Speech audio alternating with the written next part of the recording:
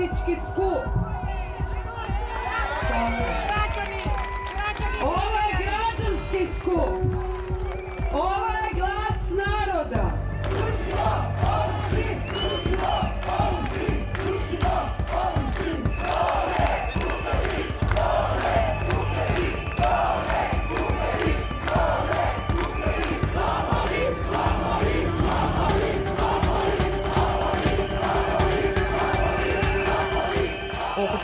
Ovdje svatko sa svojim problemima, mahom blokirani, ovršeni, ojađeni sistemom u kojem žive. Ovdje nije bilo političkih parola, ovdje je svatko imao priliku reći što misli o onome što kroji njihov život, politici. U ime moje kćerke koja je bila studentica, nažalost, razbolila se. Sve klinike sam obišla, njoj nisu našli dijagnozu, a HZZO neće ni da čuje za nju. Ona je 29 godina. Da li možete razumjeti majku koja sa 29 godina ima bolestno dijete, a HZZO neće da pomogu? Jer to ima u kojoj državi? Je mome srcu kad mora gledat da moje dijete od 29 godina ne može hodat. Gdje tu ministar zdravstva? Jel postoji? Jel ima dušu? Jel ima dušu? Jel ima djecu? Ja se bojim Boga. Mene smeta što su donijeli svojim postupcima razdore u naše obitelji, razdore u cijelu Hrvatsku, među prijatelje, među mlađe i starije. Da. Svi su oni isti. Na izgled na suprotnim stranama, a kad dođu na poziciju da stanu za građane, oni opet biraju svo, svoju priču uz naravno pohlepu i da rade sami za sebe. Meni je to u glavi izjednačeno sa nekakvim kriminalom. Eto, to je meni politika. Zapravo legalan kriminal. Svi koji su gore su krivi, opće nezadovoljstvo sa i lijevima i desnima i svi su tu, kako se kaže, za sebe i svoje interese. I to baš u trenutku dok se vladajući već tjedan dana grčevito bore za fotelje. Ovi ljudi su skupili dovoljno hrabrosti izaći na ulicu, probati utjecati na budućnost. Prije 20 minuta me nazvala supruga i rekla mi je da moj jednogodišnji sin koji je na liječenju na Rebru je završio na hitnoj operaciji. I na trenutak sam razmišljao da jednostavno skrenem na Maksimirsku desno i da se ovdje ne pojavim. Međutim, dok god imamo pet puta više ljudi sada na Maksimiru koji jedu prokleti kineski grah nego ovdje.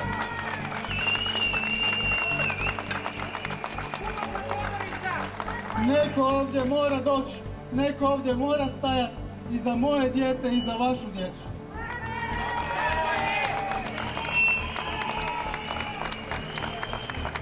Glavni razlozi prosvjeda su želja za rušenjem ovršnog zakona, za zaustavljanjem zakona o porezu na nekretnine i poništavanje Lex Agrokor, no najvažniji jedinstvo. Sanjali su da okupe građane i motiviraju ih da otvoreno pokažu nezadovoljstvo, a to jedino mogu govore nam ako se svi skupe zajedno. Osuđeni pasti i propasti bez časti. Imam e, 20 godina, zovem se Lucijan Šljevinac, zaposlen sam kao konobar. Gledat ljude da sjede na ulici, da prose, da se moji prijatelji e, ne okrenu glavu za tim, jednostavno to ne mogu vjerovati. Da samo žude za materializmom, znači moralnih vrijednosti nigdje nema. Izgleda da je Lucijan uspio mobilizirati istomišljenike, jer mnogi okupljeni nemaju egzistencijalnih problema, ali ipak su došli.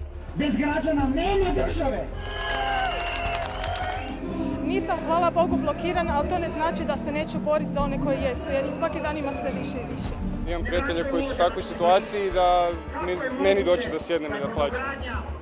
I šta da radim sad?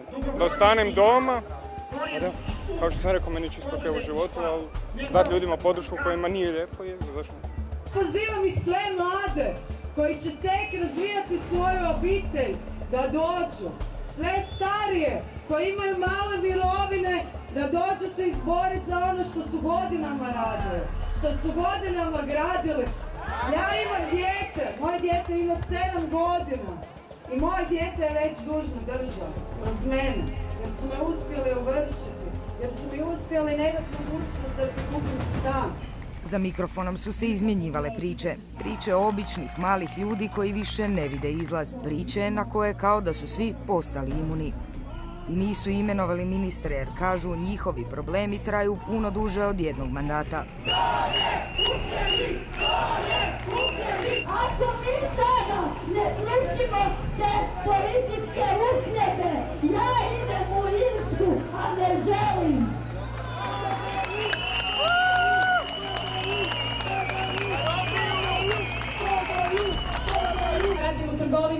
za minimalac. Ja sam isto čovjek, obični čovjek, jedna od malih ljudi. Ali moramo se nekako organizirati. Moramo se organizirati. Dosta je. Dosta je, dosta je ovrha, dosta je blokada, dosta je minimalca. Ljudi, zar vam nije dosta?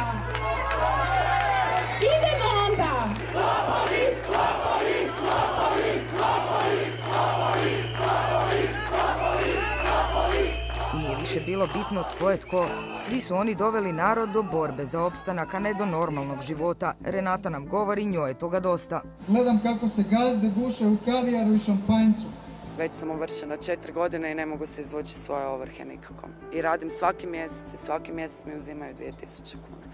Te kamate enormno rastu, e, stalno neki novi dug. Sad će me opet napraviti ovrhu jer sam u minusu u poštanskoj banci, a nemam mi od čega uzeti jer mi je već ovrha. I šta sad da ja radim? Da moja djeca plaćaju to, nemaju od čega nemaju. Zato sam danas tu, ne radi sebe jer sam jednom nogom već na drugom svijetu, nego za budućnost moje djece. I bit ću bezobrazna, bit ću prosta Hanžekoviću, Todoriću i svima gore u vladi je mamu. Da baš rade ti odvjetnici tako protuzakonite, pogotovo gospodin Hanžeković, da od duga od 100 kuna se napravi 1000 kuna, to je jako, jako puno i ti se ljudi ne mogu iščupati nikako. Osvijestite se, povežite se i borite se! I dok je skup trajao, događala se i hrvatska realnost. Baka koja skuplja boce među prosvjednicima. Neće baka doći, ali nosi tri velike vreće pune boce. To je slika i prilika Hrvatske. Jel nam to treba? Jel to želimo? A cijelo ovo okupljanje pokrenulo je troje mladih ljudi. Konobarica, konobar i informatičar. U dvadesetima su već u tolikim problemima da ne vide ništa dobro, govore nam.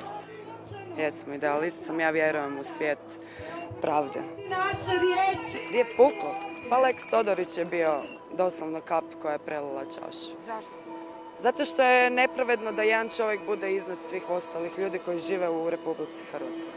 Više od 300 tisuća građana je ovršeno, više od 200 tisuća nezaposleno, a svaki deseti zaposlen na minimalnoj plaći. Zadnjih par godina imam dvojbe da li ću raditi u ovoj Hrvatskoj ili neću, jer znam da svaka moja kuna neće ići za ove građane, neće ići za moju obitelj, za moju penziju, penziju mojih, nego će ići ta kuna, će biti jedna kuna koja će nastati dvije kune, ali za njihovu pohlepu i za njihov džep. Moje ime je Ivan Pokupec ja sam rob. Moj otac je također rob. Zagrebački fakin koji je navijao za Dinamo i priželjkivao slobodnu Hrvatsku. Nije postao član HDZ-a kada je to među članovima partije postalo popularno.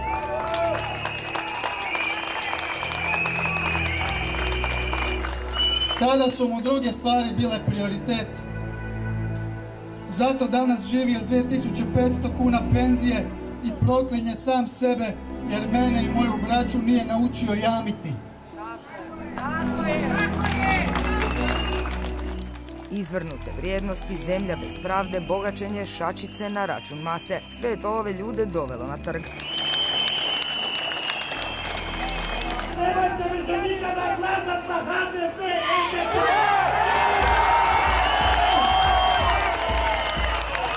Takvu pandu, ko što je Vidošević, ko što je Todorić, ko što je Sanader i svi drugi vampiri koji su posisali krv ovom narodu, prvo da im se oduzme sva imovina koju su pokrali od ovog naroda,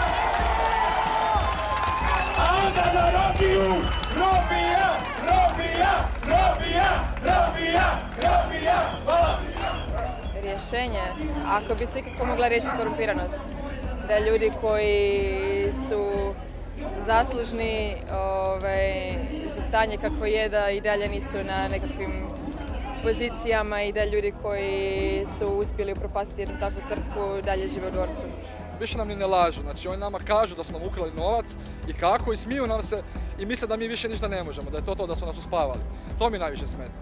To zaista je moj novac, vaš novac, svačiji naš novac. Okupljeni toga dana na trgu Bana Jelačića pitaju se zašto se ne borimo, jesmo li postali toliko apatični. Politika me u biti ne zanima, ono, ali možda bi biti trebala zato što da možemo mijenjati neke stvari. Svaka država ima svoju mafiju, a e, naša mafija ima svoju državu.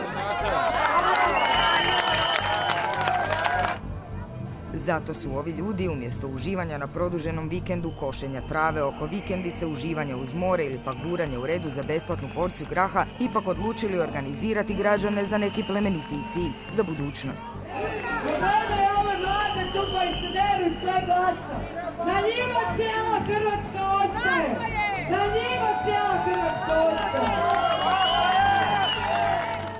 Istraživanje Europske unije među mladima u 35 europskih zemalja pokazalo je kako je gotovo polovina od 580 tisuća ispitanika potvrdno odgovorila na pitanje bili izašli na ulice u želji za promjenom u svojoj državi. Što se to u Hrvata mora dogoditi da jasno izraze svoje stavove, jer ovi koji su za 1. maj od tisuću prosvjednika izrečeni prilično su jasni.